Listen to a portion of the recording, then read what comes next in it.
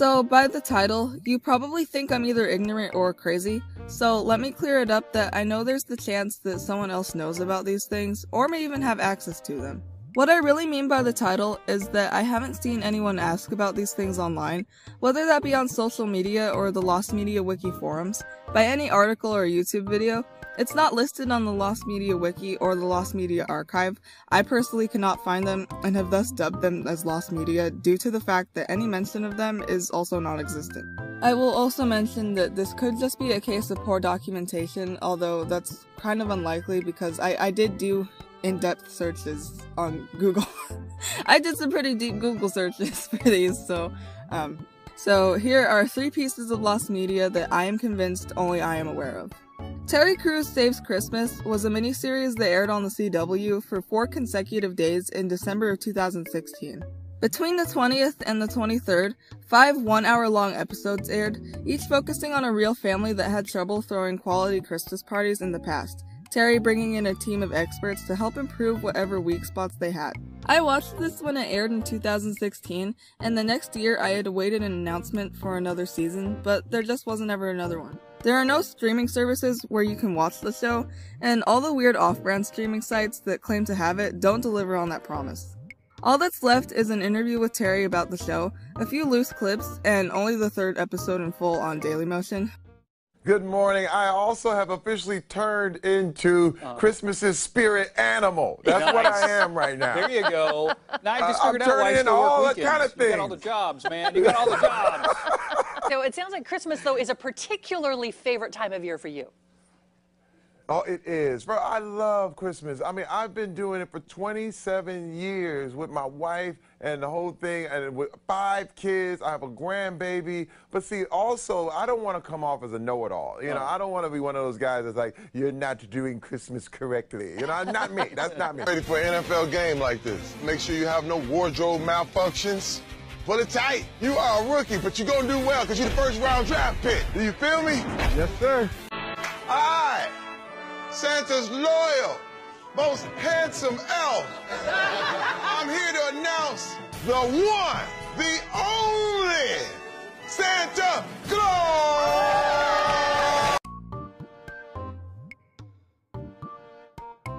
I would love to see this get completely found. I will say this again in the video, but if you have any leads on this, or even a recording of it, or anything else I mentioned, it would be a huge help if you could send it to me or direct me to it. If you're a hardcore Marvel fan, you're familiar with two facts. The canon Marvel Cinematic Universe was established only in movies up until WandaVision, and that pretty much all of the non-Disney Plus TV series didn't take themselves seriously enough because of this. That second one could be argued, but if you've ever seen a non-Disney Plus Marvel series, you probably kinda get what I mean by it. However, in August of 2016, Marvel announced a series for television that would have developed the MCU to expand to include more heroes, like they're doing nowadays on Disney Plus. So, prior to Disney Plus being the main platform for Marvel series, there were a few options. For networks, shows would be broadcast to either ABC or Freeform, and for streaming, Netflix and Hulu were the two choices. Freeform ended up being Marvel's weapon of choice for The New Warriors, a series following the comic series of the same name. In April of 2017, it was announced that 10 episodes of a comedy series based around the heroes would air on Freeform. This would have been Marvel's first comedy, predating She-Hulk, as well as the first live-action appearance of Squirrel Girl, a well-liked character that had already been depicted in a few animated series.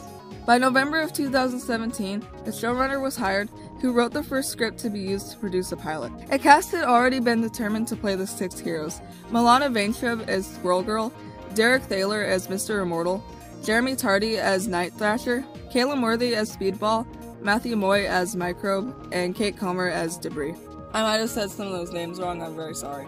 The pilot was said to have tested very well with Disney executives, which not only means that the test pilot was finished, but shown in full to actual human beings. Debatable whether or not Disney executives are human. However, Freeform had come to realize that they had no room in their schedule to air the series, because it was so much more important for us to see whether or not Teen Beach Movie Girl ended up with her adoptive brother.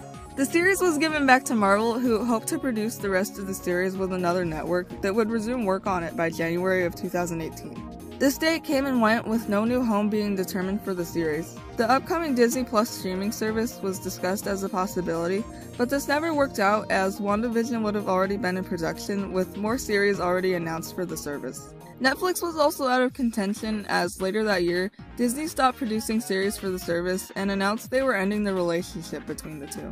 The show was said to be dead by 2019, but word about it and its production has circled around as recently as September of 2021.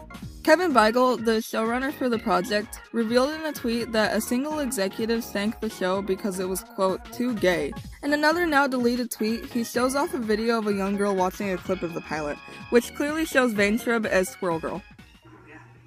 I'm gonna try to find around. Oh, I love this part. Remember, this is the is this the act you showed us? Uh-huh.